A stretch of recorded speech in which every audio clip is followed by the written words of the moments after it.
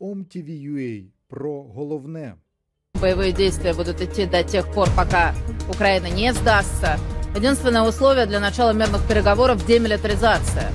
Указывает на то, что российская ракета вошла в воздушное пространство Польши. Об этом заявил начальник генерального штаба генерал Всеслав Кукула. Его цитирует издание «Речь Посполита». Спикер оперативного командования вооруженных сил Польши Яцек Горошевский уточнил, что поиски объекта, который пересек воздушную границу страны, продолжается. Все силы противовоздушной обороны страны приведены в боевую готовность. Появление летающего объекта со стороны украинской границы совпало с массированной атакой российских вооруженных сил территории Украины сегодня. В связи с этим президент Польши Анджей Дуда объявил срочное совещание. СМИ сообщают, что ракета предположительно упала недалеко от поселка Важучин в Томашовском повете. Что касается польских лидеров, то, вероятно, они рассчитывают под натовским зонтиком сформировать некую коалицию и впрямую вмешаться в конфликт на Украине. Ну ты дебил. Производство вооружения в оборонной отрасли Украины по сравнению с прошлым годом увеличилось тем временем в три раза.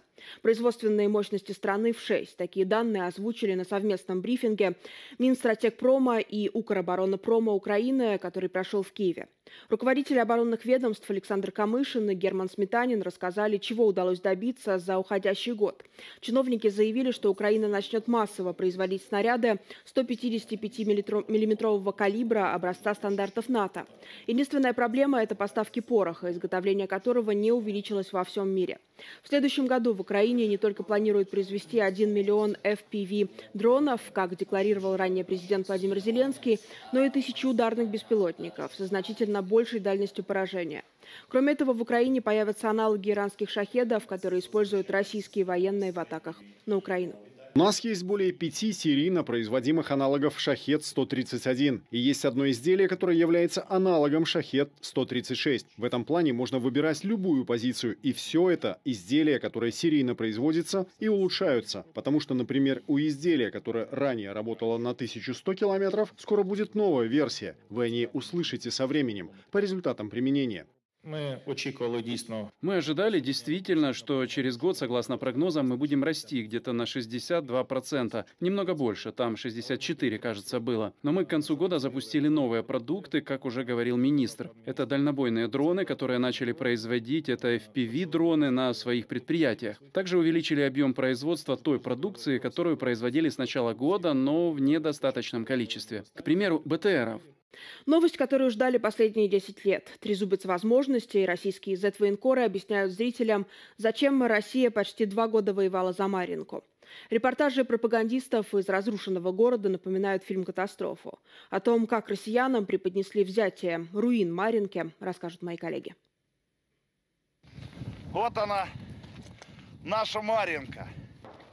Освобожденные руины. Репортажи российских пропагандистов из стертого с лица земли города по задумке должны вызывать радость и гордость у зрителей. Но вместо этого чувство безысходности и ужас. Один из старейших российских военкоров Александр Сладков хотел воспеть подвиги своих соотечественников. Но получился фильм «Фантасмагория». Проспект Дружбы. Вот этот был. Камера не передает ощущение этого замерзшего города. Первый канал тоже не отстает в откровениях. Герои репортажа из города-призрака простодушно признаются на камеру, как уничтожали город. Вот это, соответственно, здание музея раньше было. Рада вот, вот это и музей. Здания высокие, перекрывали все подходы. И вот пока мы тоже здание не сложили, не получилось подойти. Новость, которую ждали без преувеличения последние 10 лет. Так на телеканале НТВ объявили о захвате развалин. Жуткие кадры за военкоры и ведущие сопровождали пояснениями, за что билась российская армия 21 месяц. Значение этой победы сложно переоценить. Раковая опухоль на юго-западной окраине Донецка удалена. Пункт – это фактически окраина Донецка. Ехать-то там 15 минут. Но... Объяснил на пальцах для своих читателей значение захваченных руин и ультраправый телеканал «Царьград». Обороняться тут чрезвычайно удобно. Марьинка – это трезубец возможностей, говорится на сайте издания. Чем так важно освобождение Маринки? Взять, закрепиться, наступать дальше, написала «Комсомольская правда», известная также как «любимая газета Путина». Главная новость даже не во взятии развалин, а в том, что наши продолжили наступление в сторону Курахова, вышли на окраины Георгиевки вдоль трассы Н-15. Но не все пропагандисты радовались первой победе. Меланхолично предостерег от шапкозакидательства своих зрителей телеведущий Владимир Соловьев. Враг сдался, враг бежит. То есть вот, вот этим всем надо понять, что не-не-не. Война серьезная, никто сдаваться не собирается, поэтому рано чепчики в воздух бросать. Остался недоволен парадом восторженных публикаций о захвате Маринки и воюющий на стороне России Егор Гузенко под позывным «13».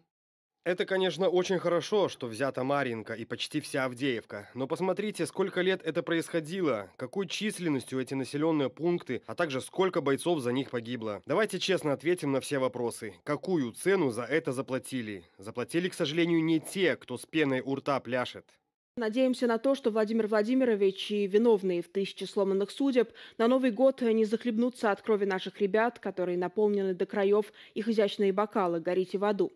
Именно такой подписью сопровождается запись одной из жен российских э, мобилизованных в телеграм-канале «Путь домой».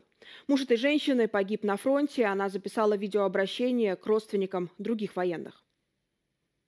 Боритесь за них сейчас, именно сегодня. Делайте все возможное.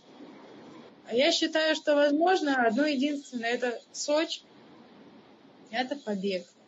Я считаю, что если ваш муж вернулся в отпуск домой, просто бегите с ним. Другого пути у вас нет. Я не успела. Я тот человек, который не успел. Я сейчас приехала на те самые новые территории. Я приехала к своему мужу в Бердянск, территорию Запорожской области. И знаете, я хочу вам сказать, что здесь людям это не нужно. Это никому не нужно. Я не интересовалась политикой, я не интересовалась тем, что происходит в нашем государстве, я не, интересовалась законами, я не интересовалась ничем, кроме работы, дом, работа, дом, так как живет наш среднестатистический гражданин. И вот я потеряла своего самого любимого человека.